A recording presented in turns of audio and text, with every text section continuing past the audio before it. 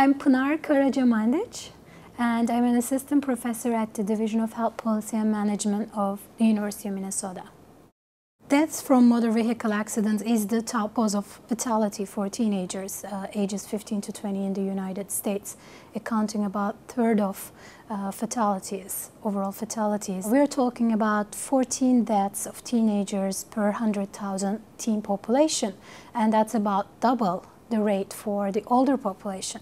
And here I would like to stress one more thing. Teens do drive less than adults in general. One of the reasons why teenagers are at most risk is attributed by research to their immaturity and inexperienced driving. GDL stands for Graduated Driver Licensing, and it basically breaks down the licensing uh, of a teen to three stages, the, uh, the learner stage, the intermediate stage, and the final stage.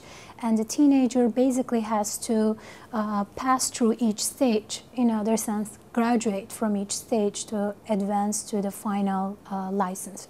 Based on our research, um, GDL has been successful. We confirmed the previous results and previous literature on this that GDL has been successful in reducing uh, teen fatality rates. Depending on the study you look at in the states, 6% to 20% reduction, so it's quite sizable. What our research did was to take sort of the next step as to how this reduction is achieved. Is it really a reduction because these teens are becoming safer drivers? Or is it a reduction because GDL is simply uh, you know, restricting their exposure, especially at high-risk situations like nighttime or in the presence of passengers. We did find that GDL is effective through limiting the teen driving uh, instead of making them better drivers. We also wanted to look at sort of these long-term uh, implications of GDL. We wanted to see whether GDL exposed teens actually become better drivers in the future.